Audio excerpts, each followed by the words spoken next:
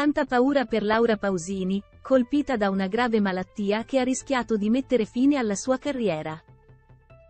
Nonostante il passare degli anni e l'inevitabile cambiamento della musica, Laura Pausini rimane ancora oggi una delle artiste italiane più seguite. Non solo nel bel paese ma anche all'estero, nei paesi latini le sue canzoni vanno ancora oggi per la maggiore.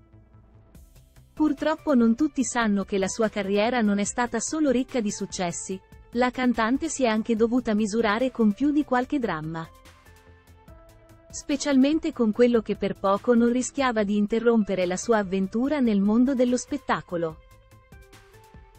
Sono stati mesi difficili per l'autrice della solitudine che ha vissuto un profondo shock quando ha appresso di essere affetta da una delicata malattia.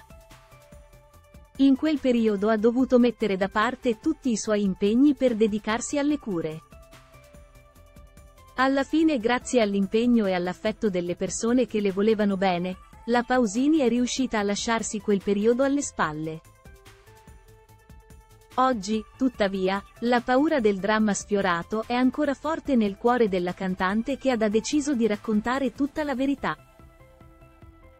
Laura Pausini Shock, il racconto della malattia, dramma sfiorato per lei.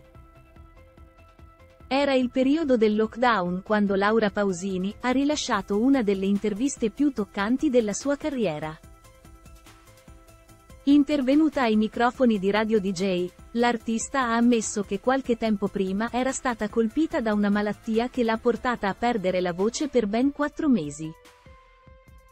Inutile ribadire quanto sia stato un periodo stressante per lei che ha temuto di veder terminare tutto quello per cui aveva lottato nella vita.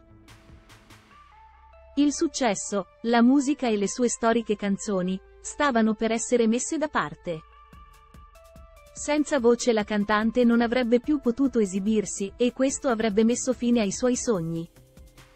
Un vero e proprio trauma per la cantautrice che oggi può guardarsi alle spalle con grande soddisfazione.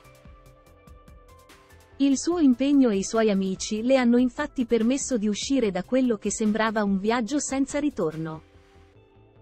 Tra le persone che l'hanno aiutata di più non è mancato Pippo Baudo.